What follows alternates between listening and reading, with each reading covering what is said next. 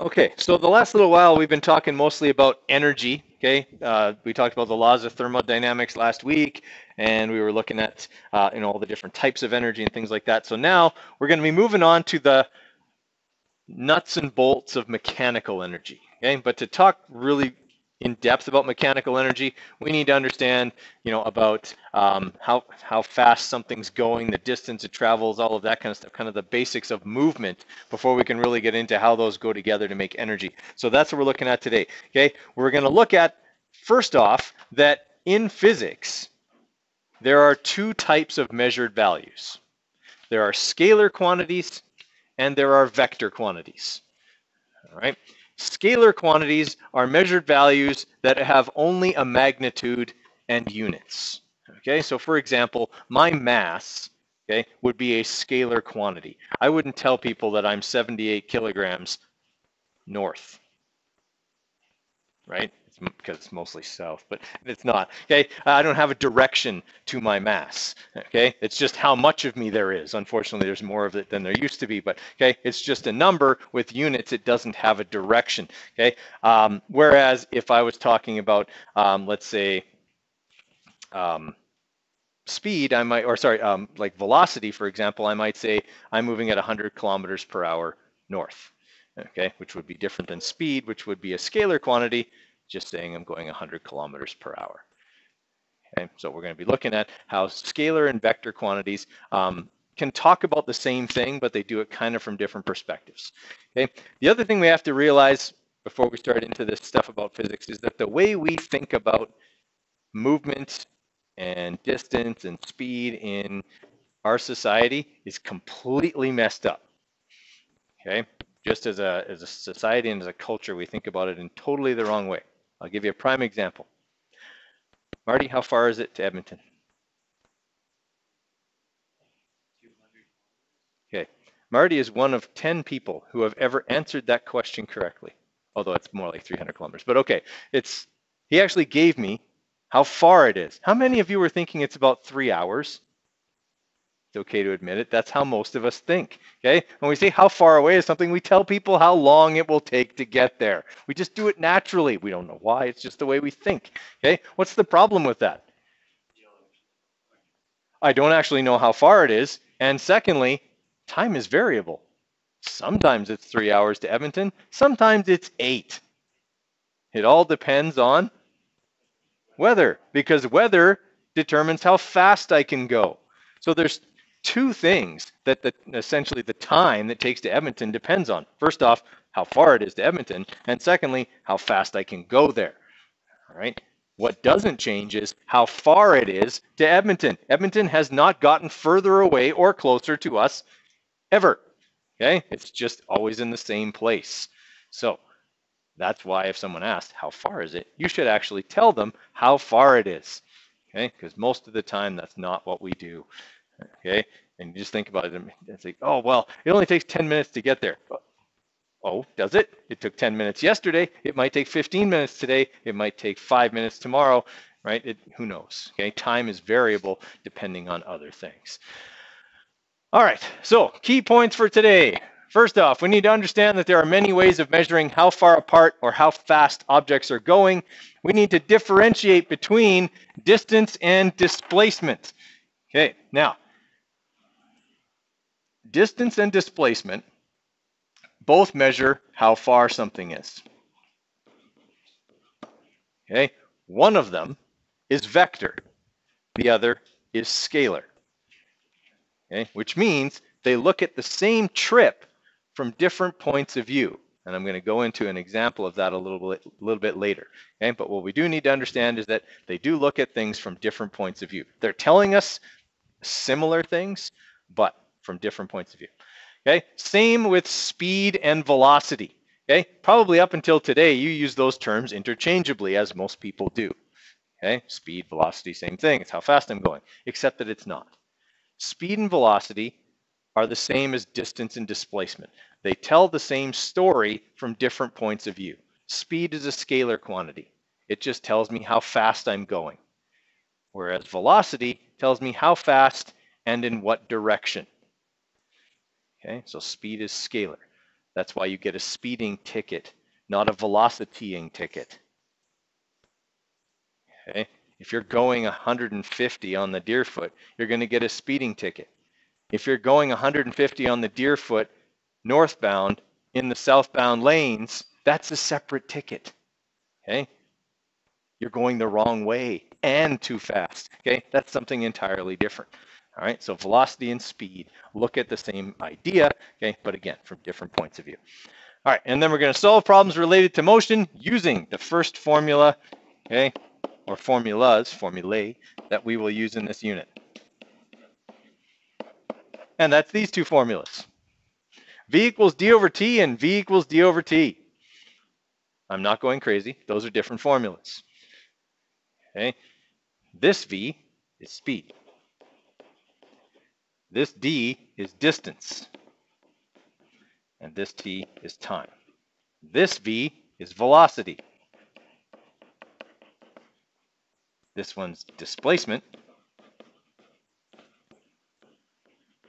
And this one's time. Okay, anything that has an arrow over top of it is a vector quantity. Okay, so if it has an arrow over top of it, it's a vector quantity. That indicates it has magnitude and direction, right? So that's why those formulas are different. And again, I'm going to go through an example that shows you just how different distance and displacement, speed and velocity can be. Okay, what about time? Is time scalar or vector?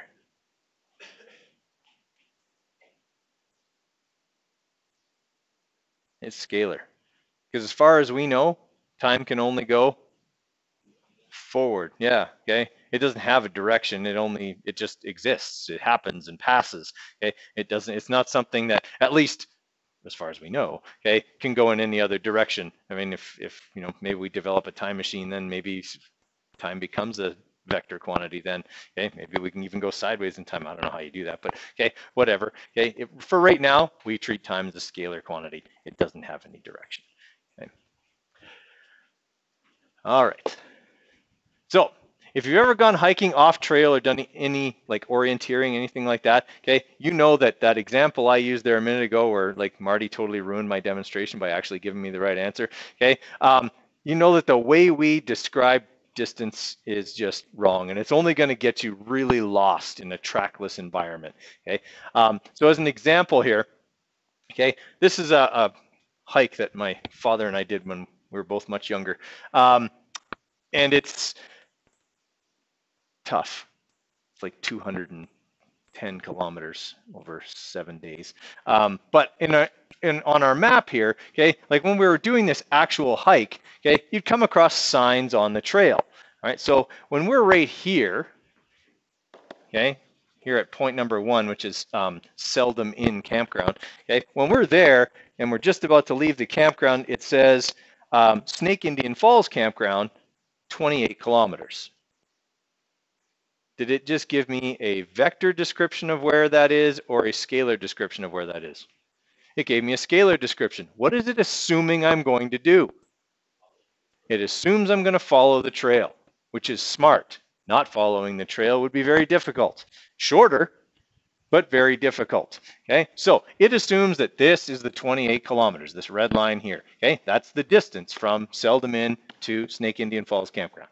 All right, if the sign was giving me the displacement, okay, it would assume I had a helicopter or something because there's no way I could walk here, okay, across this green line. Okay, there's no way I could walk across that because there's like big giant rivers and canyons and glaciers and all other manner of disaster between those two points. Okay, but it would probably say something like, uh, you know, Snake Indian Falls Campground is, um, let's say, 19 kilometers at 50 degrees west of north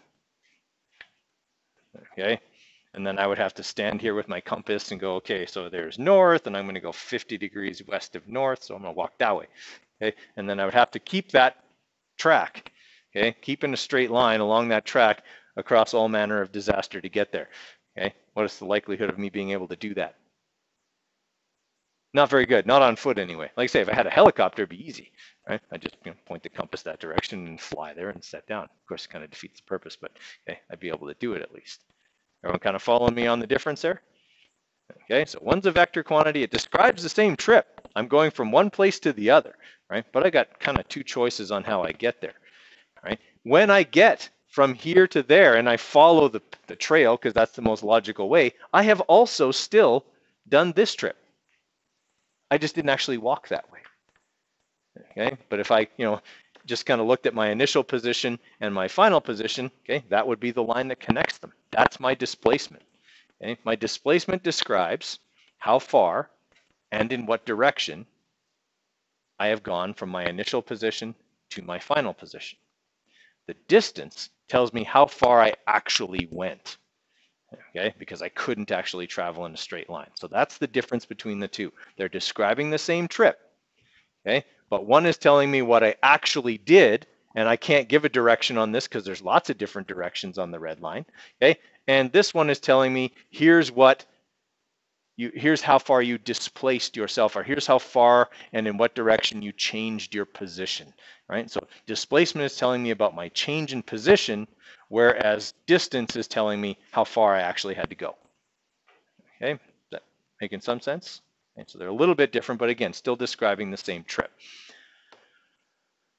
Okay, so scalars and vectors. Okay, if we're talking about you know getting to Calgary from Okotoks, and let's say we're talking about getting to I don't know like maybe the airport or something. Okay, we'd say Calgary's 40 kilometers away. We don't make any reference to which direction it is because there's a road that goes from here to there. And we would assume most people would follow it. So 40 kilometers is a scalar description. It's the distance you would have to travel to get from Okotoks to Calgary. Okay. Um, if we wanted to give a vector description, okay, then we would say it's 40 kilometers at 13 degrees east of north. Okay, so because due north would be like like this. Okay, so we'd be going slightly east of that in order to get there. Everybody all right with that? Okay, nobody would actually go that way again unless they had the capability of going in a straight line. That would require probably a helicopter. Okay. All right. Now, um, which is more accurate? A scalar description or a vector description?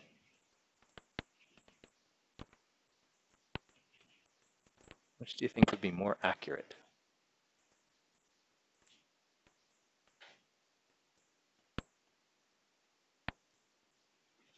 Yeah, and that's the way we lean is that vector would be more accurate. But an actual fact, and here's another thing about physics, accuracy has nothing to do with how much information you give. It has to do with how did you measure it. Okay, so if I say it's 40 kilometers at 13 degrees east of north, or it's just 40 kilometers, those are equally accurate because they're measured to the same accuracy. Okay? They're measured to the nearest kilometer. I know that Calgary, if I tell them it's 40 kilometers, is accurate. It's 40 kilometers plus or minus one kilometer. Okay? If I measured it this way, that would be more accurate. Now it's accurate to plus or minus 0.1 kilometers or 100 meters. That number is more accurate than these numbers are. So accuracy comes from how you measure, not whether it's vector or scalar. It's possible to give a vector description that has more information that's actually less accurate in terms of how it was measured. Okay, everyone follow me there. Okay, so remember that accuracy has nothing to do with whether it's vector or scalar. It has to do with how it was measured. All right, so let's talk about this. Oh, I did that too early. I I had that example somewhere. Okay, we're going to use this example here, but I'm going to redraw it without that line. Okay, so let's say that I want to walk from my house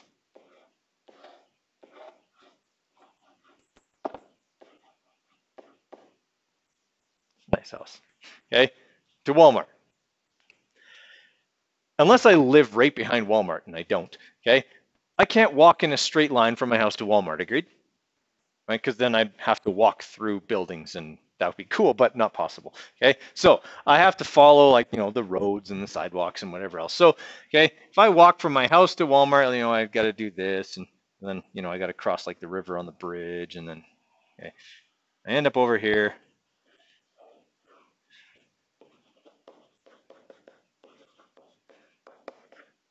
Okay. At Wally World, Walmart, Sprawl Mart, whatever name you have for it. Okay so let's say that when I walk that, okay, that that ends up being 4.0 kilometers. Let's just say it comes out to four kilometers. Okay. Is that distance or displacement? That's distance. Okay, that's the distance that I have walked. All right. Um, that means that my displacement then would be the line I erased a minute ago, this line. Okay, is that shorter? It is, but I can't actually walk it. But I have done that. In walking from my house to Walmart, that is how much my position has changed. Right? So let's just say that for argument's sake, it is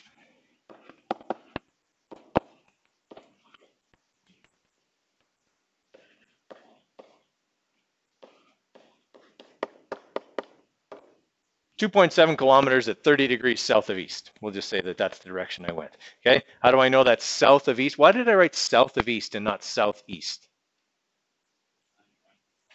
Right, exactly southeast is 45 degrees south of east and 45 degrees east of south. Okay, this is, okay, whenever we draw a line like that, okay, we measure it from some primary compass direction. So this is east. Okay, this line here would be east, and I went 30 degrees south of it. Okay, I can't say 30 degrees southeast because there are two 30 degrees southeast and they don't point the same direction. Okay, all right, so I've gone 30 degrees south of east, okay, 2.7 kilometers. So I'm actually only in a straight line 2.7 kilometers from my house. Okay, even though I had to walk four kilometers to end up there. Right, so again, I'm describing the same trip, but from two different points of view. Okay, everyone following the difference between distance and displacement? Okay, now comes the difference between speed and velocity. If this takes me a half an hour, all right, so this is going to be, whoop,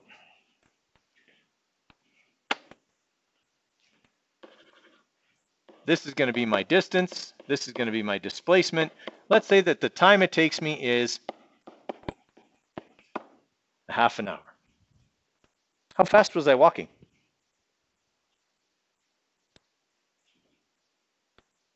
Eight kilometers per hour, right? I went four kilometers in half an hour. I would have kept walking. I would have gone eight kilometers in an hour. So I'm going eight kilometers per hour. Okay. How did I figure that out?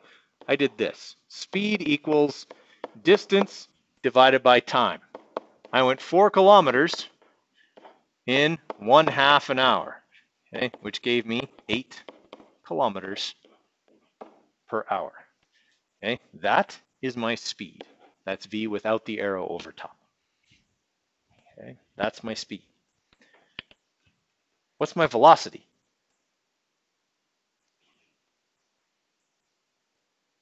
Same or different number? Nope, going to be a different number because velocity is vector, right? So while speed tells me how fast I'm going, velocity tells me how fast I'm changing my position, including what direction I'm going because it's a vector quantity. Okay, so while the formula is similar, okay, velocity is displacement divided by time.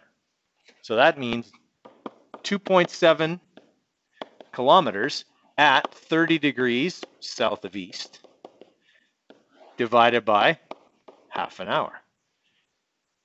Right, so now I'm going to get that my velocity is 5.4 kilometers per hour at 30 degrees south of east. Okay? Because time didn't have a direction, the direction stays the same. Okay? It also makes sense that if I changed my position 30 degrees south of east, that's the direction I was walking. My, my velocity should have the same direction. Okay? I can't end up, let's say, 200 kilometers east by going 100 kilometers an hour north right? My velocity and my displacement always have the same vector. They have to. Okay, everybody all right with that? Okay, so not a tough calculation, right? We're just plug in numbers in. All right, because I'm old, I get to Wally World and I realize that I don't have my wallet. Since I'm not a person who walks around a store to look at crap, I just turn around and go home because I can't accomplish my mission that I was going to whatever to get some piece of junk there. Okay, so I turn around and I walk back home along exactly the same path at exactly the same rate. So after one whole hour, I'm back at home. What a waste of time. How far have I gone? I've gone eight kilometers. It's four kilometers there, it's four kilometers back. What's my overall speed? Eight kilometers per hour. Okay, that's easy. What's my displacement now that I'm back at home?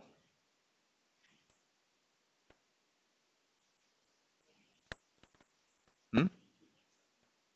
Nope. Nope. Remember that. Okay, I'll give nothing. Displacement is my change in position. Since I started at home and ended at home, I didn't change my position at all. I just walked for an hour and accomplished nothing. Okay, my displacement is now zero because I'm back where I started. That's where vector and scalar quantities can really start to give you different answers. Okay, yeah, I walked eight kilometers, but I didn't end up going anywhere because I ended up back where I started. All right, everyone kind of follow me there. Okay, now that also means then that my overall velocity is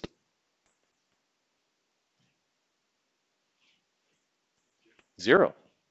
Okay, right here, guys, we calculated velocity by taking displacement divided by time. If my displacement is zero, the overall velocity for that whole trip is zero because I didn't go anywhere. Okay? I ended up back at home and didn't go anywhere. All right, questions on how that works? Okay, in your car, you have this thing that's usually right underneath or part of the speedometer, okay? And it tells you how many kilometers are on your car. It's called the odometer. Does it read the distance you've traveled or your displacement? Distance, okay? Because if it read displacement, what would it read every time you came home? No, it would read how far it is from the dealership you bought it at to your house. Come on, people, wake up. Every time you take it in for an oil change at the dealership, it'll read zero. I catch everybody. No one has ever given me the right answer on that question. Okay, everybody goes zero because they think, yeah, at home. Okay, so it doesn't read displacement because that would be useless unless you were trying to sell it, in which case you could say, well, this car only has 4.5 kilometers on it because that's how far it was from the dealership to your house. Okay, It'd be great to try and sell a car with only four and a half kilometers on it, except that you could have driven it around the world a hundred times. Okay, it could have hundreds of thousands of kilometers on it. Okay, that's why it reads the distance you've driven the car. Okay, that's more practical. It tells them, you know, essentially how much the car has been used. Okay, all right, is this making sense? Okay, so just have to remember difference between distance and displacement, speed and velocity. All right. Um, now, this here was, uh, I was talking about this a minute ago. It said, it says more accurate. I think I changed your notes to read something else, right? I don't say, I said descriptive, I think, in your notes. I keep forgetting to.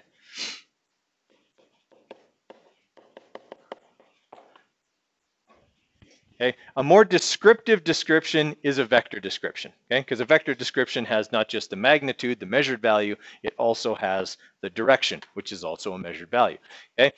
Um, so 40 kilometers on a vector of 13 degrees east of north. Again, we've said 40 kilometers for both. Okay, the the difference they're they're equally accurate. Just one has uh, a vector or a direction on it as well. Okay, for us in Science 10, we're not going to use uh, angles. Okay, because that brings in the trigonometry and all of that kind of stuff. We save that for Physics 20. Okay, in Science 10, we only deal with what we call one-dimensional vectors. So that's forward and backward, left and right positive and negative, north and south, whatever. Okay, we'll only ever have back and forth. Okay, there'll be one-dimensional vectors only. You won't have to go off on angles and do sine, cosine, tan, and all that. Okay, we save that for uh, when you get to physics 20. All right. Okay, so difference between distance and displacement. So the distance, okay, when we give the distance an object has traveled, that's a scalar quantity. Okay, when we give the displacement, okay, that's going to be um, that's going to be our vector description. All right, so distance and displacement are different measures of the same thing. While you might actually have to travel four kilometers, okay, you only end up 2.8 kilometers in a straight line from where you started. All right, so it's just important to recognize the difference there. Okay, so distance, uh, if we wanted to kind of summarize that,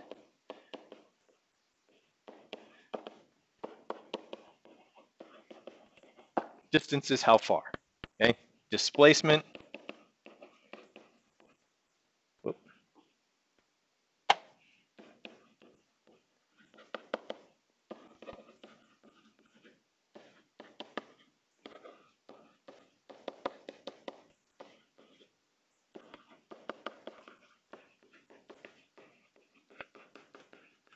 Okay, displacement is your change in position with direction, which is actually why on your formula sheet, which I have to give you this week, okay, it actually says that displacement is your final position minus your initial position. Okay. All right, so like I said, uh, displacement is going to be your change in position, okay, uh, with direction, all right? And we often calculate that by going final position minus initial position. That'll become more important when we start talking about graphs later this week. Okay.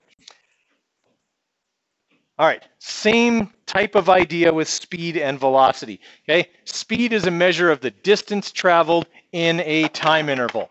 All right, so speed is a measure of the distance traveled during a certain time interval and thus is a scalar quantity. Okay, so speed is how fast.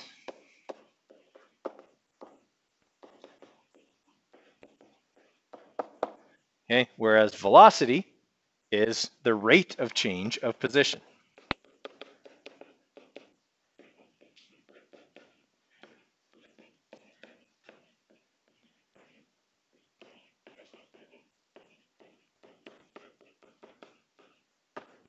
And again, that has direction.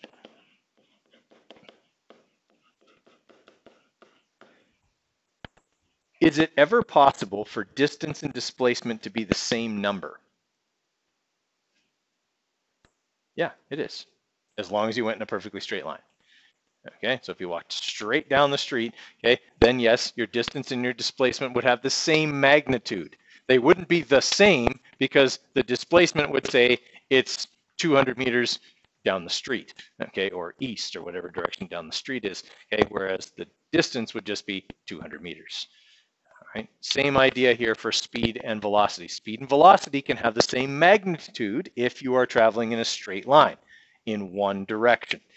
Okay, if not, okay, then they're going to be different. Okay, and then this last paragraph here was exactly what we did with the Walmart trip. By the time I get back home, if I followed exactly the same route, okay, then my displacement and my velocity will both be zero because my position has not changed over the course of time. Okay. Now, we got to look at algebra. Okay. So the formula you're going to be using, V.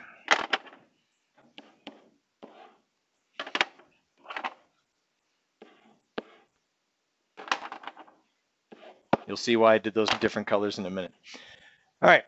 So right now that formula is set up to solve for speed, or V. I want to solve for D. What do I have to do? Right, multiply both sides by time. Okay, so that just means bring time over here. So now time equals, or sorry, uh, T times V equals D. All right, think about that. All right, if you're traveling at 100 kilometers per hour, how far will you go in three hours? 300 kilometers. Did you do exactly that? Yes. Okay, so that formula kind of makes sense then. All right, what if I want to solve for t? You didn't have to do this with the mole equation. That was the one that was always on the bottom. You never had to move it. I never had to solve for it. Can I solve for something if it's under a dividing line? Not leaving it under the dividing line. Because a lot of people just say, oh, Mr. Coderre, why don't you just divide both sides by d? Bring d over here, and that's solving for t. Is that solving for t? No, that's solving for 1 over t. Okay, because what I did to move this d over here was I went, I divided both sides by d. Well, d divided by d is 1. It doesn't make it go away. It's like 2 divided by 2. It's 1. Right, so if there's a 1 on the top. 1 over t is not the same as t. All right, so I'm just going to undo all the crap we did here. All right, I want to solve for t. I need to make sure that it's on the top of the equation. So I'm going to do what I did in the last one, and I'm going to multiply both sides by t. I'm going to bring it over here. Okay, and then what am I going to do with v? Right, because I want t by itself, so I'm going to divide v over here. T equals d over v. Edmonton's 300 kilometers from here, and you can travel at 100 kilometers per hour. How long will it take? It's 300 kilometers from here. You can go 100 kilometers per hour. How long will it take? Three hours. Did we just do that? We went 300 divided by 100 and we got three hours. Okay? So it's nothing that you don't do in your head all the time. Right? So don't let the algebra intimidate you. Also, do not let the algebra make you think that doing one of these would be okay, because I'll kill you. Okay? Triangles are not cool. They suck. Well, they're a wannabe square, but they're short side. Come on. Like, okay.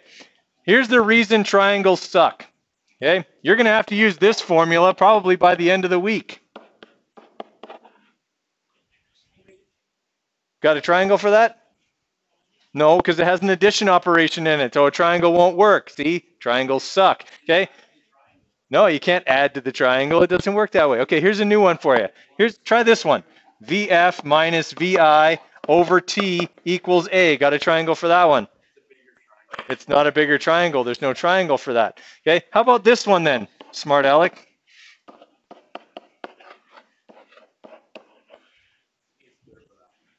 I don't know. You need like a trapezoid or something. Okay, like there's no there's no shape that's going to help you. If you take physics 20, yes. Okay, that calculates the period of a pendulum based on its length and the acceleration due to gravity. Okay, there's all kinds of incredibly cool, useful formulas that cannot be manipulated using a damn triangle. Okay, triangles are a crutch, and if you continue to use a crutch, your leg will never get stronger for temporary. No one expects you to use your crutch for the rest of your life. Then you would have a wheelchair. Yeah. Okay. Then you're incredibly resilient, but you didn't use a triangle. So, okay. My point is made though, right? You didn't need a triangle. So, here's what we got to think about, guys. There's a couple of rules of algebra that we need to know. All right? I want you to write down these three rules of algebra. They're simple, simple rules. Okay? When manipulating an equation, the first rule of algebra is if you want to move something, you do the opposite. Okay, so if I want to move a variable that's being divided, I will. What's the opposite of, of divided? Multiply. If I'm if I want to move something that's being added, then I would subtract. Okay, it's just that's the way it's going to go. If you want to move something, you do the opposite operation. We're going to look at this in terms of that y equals mx plus b formula here right away. Okay, so the first rule of algebra is if you want to move something, do the opposite. The second rule of algebra, what you do to one side of an equation, you must do to the other. Sometimes we call that the golden rule of algebra.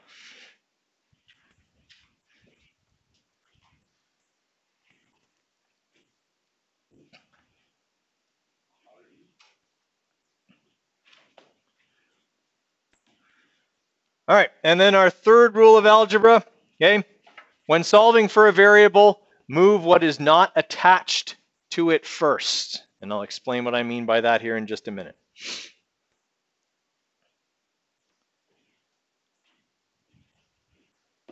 All right, so let's look at these three rules in action using the graphing equation. Okay, so in the graphing equation, we have that y equals m times x plus b. How many of you have taken that in math already? Okay, so one or two of you. It'll, it'll be coming if you've taken what's that? Uh, grade eight, you probably learned rise over run, but if your grade eight math teacher taught you that, they're awesome. Yeah. Okay. Mr. Zanoni did. Zanoni's awesome. Yeah. Yeah. Okay. So here's what we got. Okay. If I want to solve for, let's say, uh, uh, m. Let's say I want to solve for m in this equation, right? The rules of algebra say, first off, I gotta, if I want to move something, I gotta do the opposite, okay? And what I do to one side, I do to the other, and I gotta move what's not attached first. So what's not directly attached to m? b, okay? b is not directly attached to m. So if I want to move b, I need to do the opposite of add it. I need to subtract it from both sides. Okay, so what I end up doing is I go minus b, okay, minus b, and this is what I end up with. y minus b equals m times x, because b minus b is 0. All right, now I still want to get m by itself, but x is still over there. Right now I'm multiplying m and x together, so what do I do to move x? Divide. Boom. Okay, I've just manipulated that equation to solve for m. Okay, wasn't overly difficult. I subtracted one thing, I divided another, and I'm done. Okay, I've solved for m, no problem at all. All right, let's say instead of solving for m, I want to solve for b.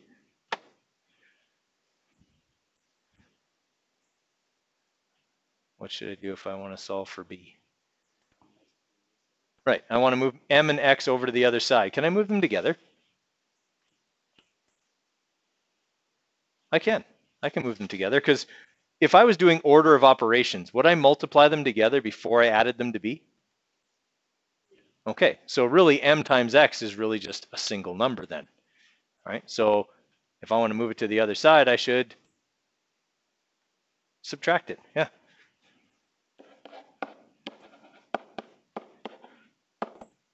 y minus m times x equals b. Okay, as long as we think logically about an equation, we shouldn't have any trouble moving anything around in it. Okay, and you guys don't have really complex formulas that you're going to have to manipulate. Okay, between this and this one,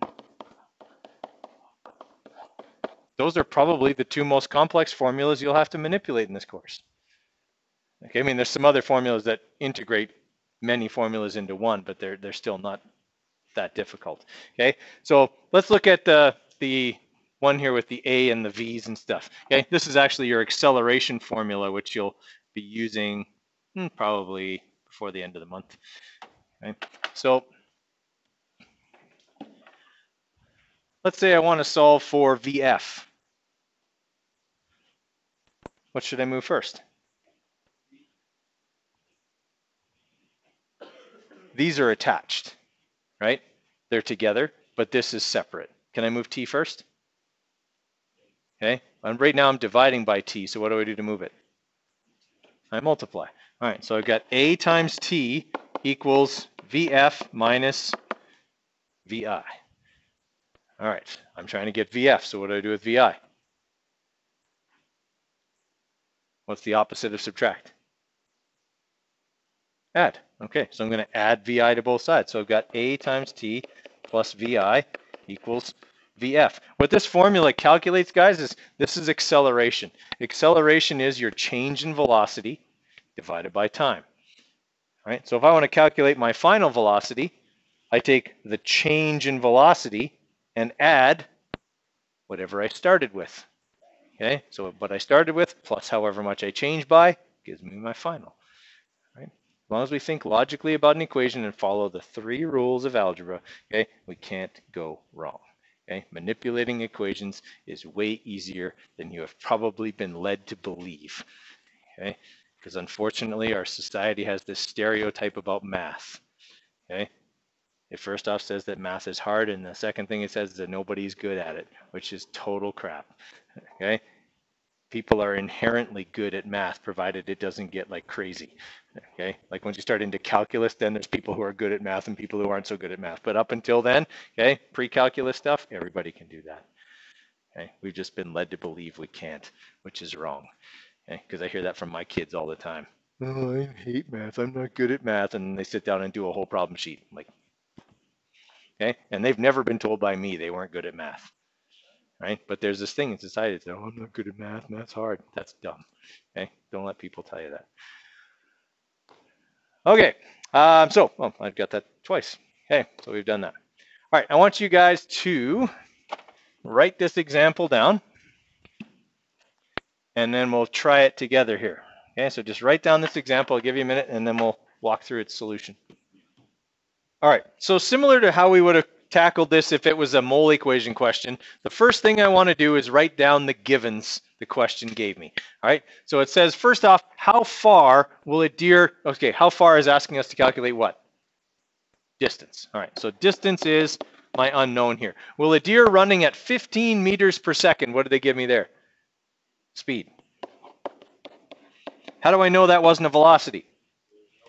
There's no direction on it, right? Okay, travel in 45 seconds. That's a time. All right, so I've got V, I've got T, and I'm looking for D. All right, so you get one mark for your givens. Okay, this is my formula here. V equals D over T because it's the only formula I have that has all of those things in it. I need to manipulate for D. So what do I have to do with T? Multiply by both sides. All right, T times V equals D. So that'll be 15 uh, meters per second times 45 seconds.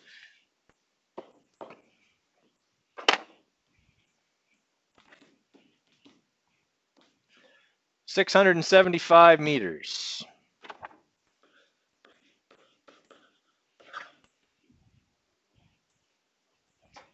What's that? It is. Deer are pretty fast though when they get moving. You'd be surprised. You think Bolt can run almost 40, and he ain't gonna outrun a deer. A cheetah can run at almost 70 miles an hour, right? It's like 115 kilometers an hour. So.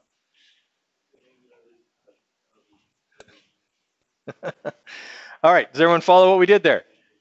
Okay, so nothing terribly difficult, right? You get a mark for your givens, okay? Um, you get a mark for picking the correct formula because once they give you your formula sheet, there'll be lots on there to pick from.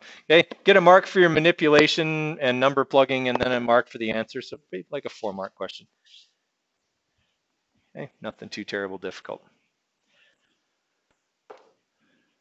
Okay, I don't know why I didn't erase all the solutions from here before. Oops.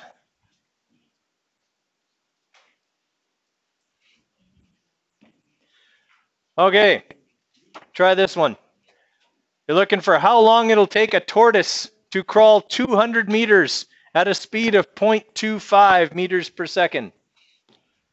All right, so again, we want to set it up, okay, with our with our givens first. Okay, it's crawled 200 meters, so that's a distance. Okay, it's not a displacement because they didn't tell me what direction. Okay, at a speed of 0.25 meters per second, they're looking for how long that will take, so they're looking for time. Right, so again, V equals d over t is my formula. I'm trying to solve for t, so I'm going to multiply both sides by t, and then I'm going to divide both sides by v, and we'll end, what I'll end up with is distance over speed equals time. So that'll be 200 meters divided by 0.25 meters per second, which should be 800 seconds, right? What's that? Minutes, yes, 13 minutes to go 200 meters. You can walk that in like a minute and a half, two minutes. Okay. All right. Um, questions on how that one worked? All right. Now this one will be a little bit trickier because it has more than one part. Okay. So something that we need to be aware of about the formula we've just been using. Okay this formula here, velocity equals displacement divided by time, okay, actually means average, can also mean, sorry, average velocity equals total displacement over total time. Okay, so we can use it in its kind of singular form like this, just for a part of the trip, and we can use it over the whole trip, provided we have these numbers, the total displacement and the total time. All right, so we have a bus that travels 100 kilometers north in 1.2 hours and then turns around and comes back 62 kilometers south in 0.9 hours. We're looking for the average velocity of the bus. Okay, so to get the average velocity of the bus, we need the total displacement and the total time. I'm gonna give you guys a few minutes, to see if you can figure that one out. Okay, so let's have a look at this one. So what I have to look at here is if I'm going to get the average velocity over the entire trip, I need the total displacement and the total time, which for this question aren't difficult things to find. You know, I know that in part one of the trip, okay, we go uh, 100 kilometers north, so we have a displacement of 100 kilometers north, okay, and that that takes 1.2 hours. Okay, and then in part two, Okay, the displacement is 62 kilometers, but now south. Okay, and so that's going to mean, uh, and that time is uh, 0.9 hours, right? All right, so I've got kind of D and T and I've got D and T. Now, what a lot of people unfortunately do here is they go, oh, average. When you calculate the average, you take all the parts and you add them together and then you divide by the number of parts. Do I want to do that here? No. Okay. First off, it's more calculating than I need to do. And secondly, it won't give me the right answer. Okay. Here's why it won't give me the right answer. If I calculate the velocity in part one and then calculate the velocity in part two, add them together and divide by two, I have said that part one and part two represent equal parts of the trip. Do they? No. Part one is significantly more of this trip than part two is. Not only is it farther, it's also longer. Okay, so I don't want to do that because then I'm treating them like they're equal parts and they're not. Okay, that's why I want to take the total displacement and divide by the total time. It essentially finds me the weighted average, taking into account that more of the trip was traveled at uh, in part one than it was in part two, where the velocity was obviously higher. Everyone follow me on that. Okay, Doing it the other way would be the equivalent of saying I traveled 120 kilometers per hour toward Edmonton for 290 kilometers. And the last 10 kilometers, I had to slow down to 50. So I'm going to go 50 plus 100 and divide by 2, and that's going to be my average velocity. It's not even close to that. I traveled way, I've traveled 95 to 97% of the trip at 120. Only the last part of the trip did I have to slow down, the last 10 kilometers. That's not half. Okay? They're certainly not equal parts of the trip. Everyone okay with that? All right, so if I want to find the total displacement, I'm going to add these two numbers together, keeping in mind that this one is south, and south compared to north would be opposite or negative. All right, so I'm going to say, all right, 100 plus negative 62 divided by the times. So I just found the total displacement by adding those together, and then I'll add the times together. So um, 1.2 plus 0.9. There's my total displacement divided by my total time. It's okay that I didn't make the 0.9 negative. I made the 62 negative. Should I make the 0.9 negative? No, time can't be negative. I went 62 kilometers south, not 62 kilometers south and back in time. That would be weird and impossible. All right. So what I end up with is that my total displacement is 38 kilometers north divided by 2.1 hours. Right. And when I do that, I should get 18.1 kilometers per hour north.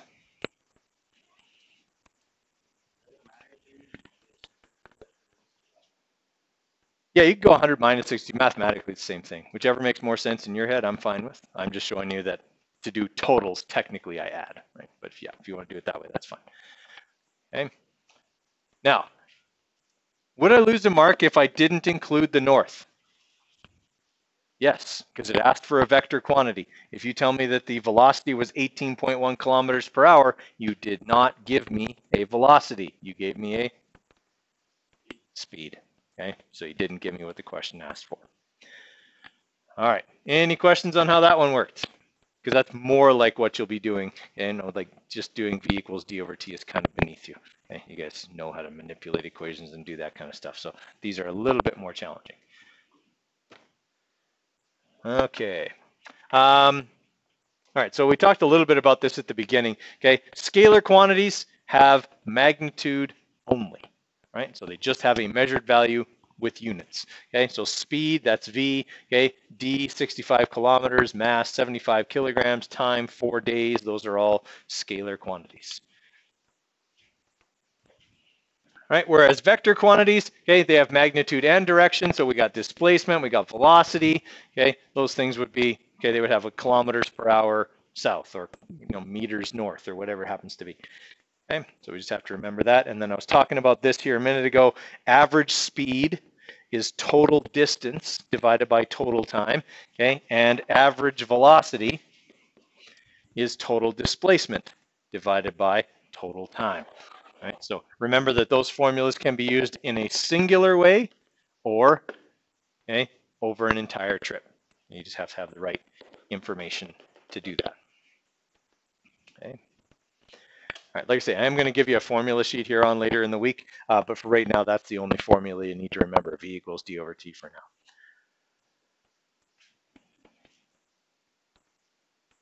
And we did one like that already. And we did one like that already. And one like that already. All right, try this one. This is a little better.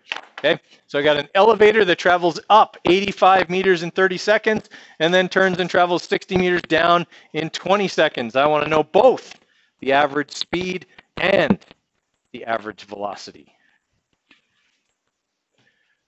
So in the first part of this question, okay, I've got the elevator traveling upwards. Okay, so that the displacement here is 85 meters up, and that takes uh, 30 seconds. And then in part two, all right, the distance travel or the displacement, sorry, is 60 meters down. And that takes 20 seconds. All right, so now we have our displacements and our time. So this is going to be just like the one we did before. Okay, if I want to calculate the average velocity, I'm going to need the total displacement divided by the total time. All right, so the total displacement is going to be 85 plus negative 60, and I'm going to divide that by 50 seconds. All right, so I'm going to have um, 25 over 50, so the average velocity is 0.5 meters per second up. Everybody all right with that? Okay, now to get the speed, I need the total, not displacement, but distance. All right, so instead of making 60 negative, now I'm going to treat it like it's just a distance, just a scalar quantity, right? So I'm going to have eight, I went 85 meters, then I went another 60 meters. From a scalar perspective, that's what happened. It doesn't care. Okay, scalar quantities don't care if I went up or down. Okay, just how far did I go? So now I'm going to have that speed, without the arrow, equals distance over time. So that's going to be 145 meters divided by 50 seconds. Okay, it's going to be a much larger number now right? Because again, it doesn't care that I went up and then came back towards where I started from, just how far did I go in total, right? So we got our uh, 145 divided by 50, okay, much larger number, 2.9 meters per second with no direction, right? Because I went up and down during that trip. Okay, everybody all right with that? Okay, not again, not difficult calculations once we understand what we have to do.